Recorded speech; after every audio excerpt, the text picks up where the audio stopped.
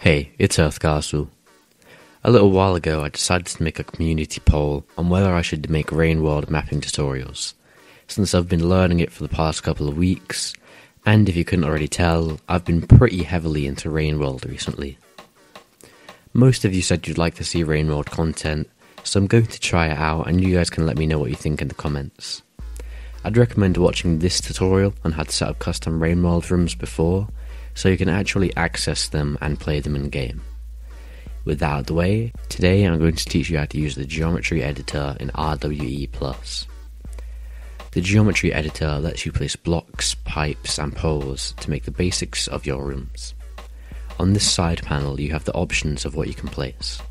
For now I'll just go over the important stuff, which is all of these. First, there's the classic block, which places down a square the size of a single tile.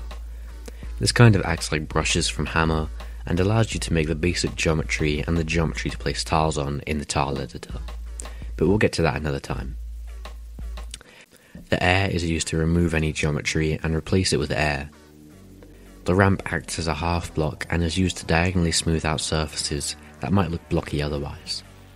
The platform, which is used similarly to the block except pressing down while on top of the block, will let you move through it, and from the bottom you can jump through. This works in the same way as Terraria platforms, if you've played that. The crack can be placed on blocks and ramps and acts as a path that can be crawled through to get to another location, similar to the many vents and pipes and filtration system. The beam, better known as the pole, is used to make poles.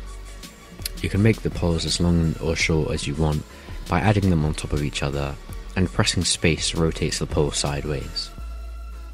If you didn't already know, these poles can be climbed and stood on to reach higher areas or to traverse around rooms. This group of tools are all used to create basically the same thing, so I'll explain all how they work together. These tools are used to make pipes. First, make a two tile deep hole in wherever you want the pipe entrance to be, and place a shortcut entrance at the bottom. If you're making a pipe that connects to another pipe in the same room, make a pipe exit the same way wherever you want the pipe to lead.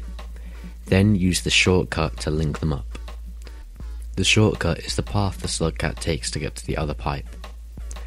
If you're making the pipe lead into another room entirely, place an entrance at the end of the shortcut like this.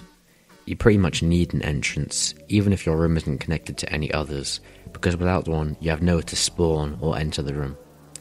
If you have any creatures in your room, you'll need to have a pipe leading to a dragon den, so that after they eat or eat you, they'll have somewhere to deposit it. And that's all I'm covering in this video. Thanks for watching, if you enjoyed make sure to check out my other content and that's all for now. See ya.